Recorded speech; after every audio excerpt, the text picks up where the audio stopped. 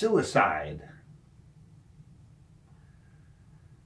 Wow, suicide. It's hard to meet anybody who hasn't had to confront it, either in themselves or in a family member or friend in the U.S. society, and it's, I think, epidemic all over the world. I'm not sure I've heard of a country that has a very low suicide rate. I mean, in the most dry sense, we could say it's an option. On any given day, you can choose to die. That, that's your right. I think it is a right that a person has the right to kill themselves. I also publicly say, since it is a huge problem, and I've spoken with thousands of people who've had someone in their life kill themselves, say that there's no more horrible thing you can do to someone you care about than kill yourself because it will hurt them the rest of your life, their life, and your life is gone. You think your life is so miserable and somehow you'll get relief if you kill yourself. And I promise you, you kill yourself and everyone who loves you is damaged. So it's the most horrible thing you could ever do to anyone who loves you. I was there. I was 16 when I found out this country was racist and that people really hated black people, white people hated them and wanted them not even to be citizens, just to be servants. And I wasn't an activist and I, my teenage mind said, I don't want to live in this world. And there were other things going on. I was different, different, a strange kid. But at the heart of it was I, I saw the hatred, and I knew I didn't want to hate the hatred. So I thought suicide was an option. I wasn't good at it. Put me in three mental hospitals in one year and I was at Martin Luther King's I Have a Dream speech. I realized you don't kill yourself, you make revolution.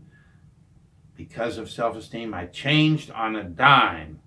And I have never, ever thought about it again. In fact, I want to be healthy and vital to change the world to be a world without hate, to where they have to look it up in the dictionary because no one would believe anyone actually hated suicide now is so common, it's almost like, well, I don't know whether or not to go to Disneyland or to kill myself. I, there was a huge shock at Camp Winnarainbow this year when one of its most loved counselors completely surprised everybody, myself included, that he killed himself. It still hurts so many people that he did. He was a psychotherapist.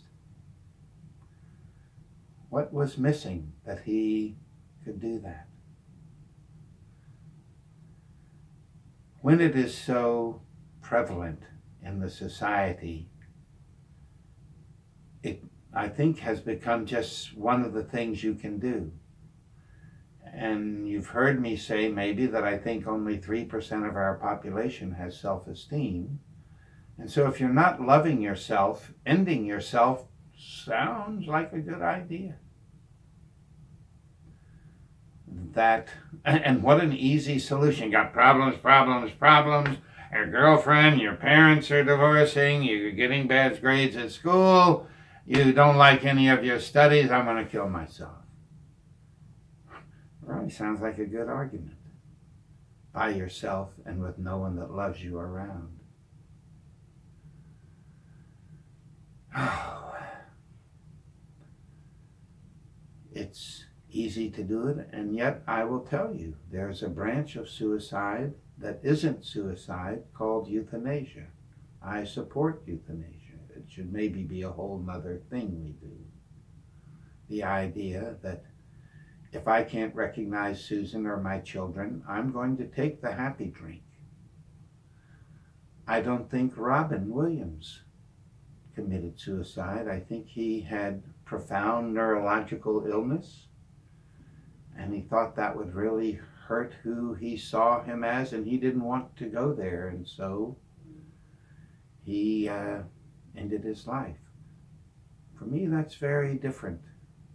One could even say, if it weren't against the law, to make it a celebration, but you can choose your ending. But suicide isn't about choosing your ending, it's about ending before choosing your ending. That pressure too much, things too much, and how easy it is to take a bunch of pills, shoot yourself, run a car off a cliff. Too damn easy. And, okay, to my knowledge, no elementary school and no public school in the world, K through 12, teaches one hour, 13 years of the most important thing of life, loving. And so most of my gender knows practically nothing about loving.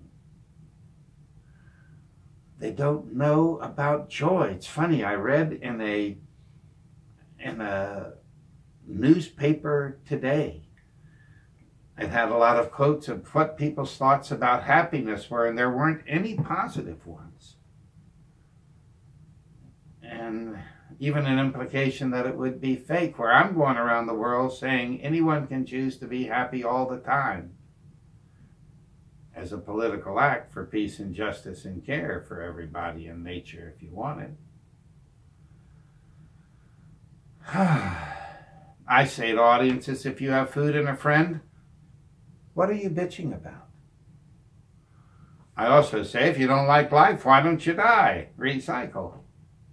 There's tongue in cheek about that. Because I don't really want you killing yourself because you will leave horror behind you that is unfair and cruel. But how is it that we're not happy, and whose interest is it that you're not happy? And I would say it's one of the strongest positive points of capitalism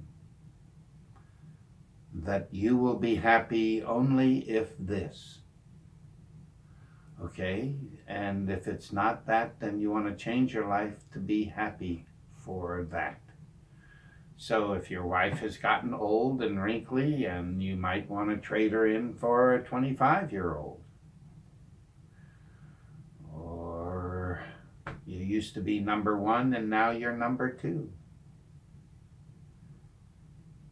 I know I'm going all over the place here, but I, I, uh, I mostly, I mostly want to ask the question, why isn't where you are enough? Why, you know, one friend. You have to have a friend, okay? And if you don't want a human friend, then at least have a pet.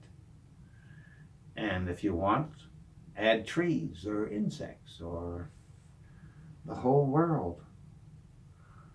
If you're a religious person and believe in God, how is it that your interface with God doesn't make you a person that loves everybody? That's very confusing. God is love, so love everybody.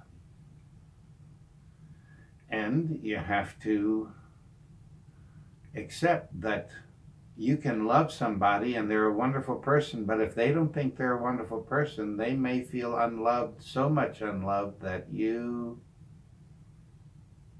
can't change that and that you are unhappy that you can't change that and even hurt yourself that you so I want to say this you're responsible for your joy. And so if you reduce your joy to food and a friend, then wow, there's a good chance you'll love life. It is a gift.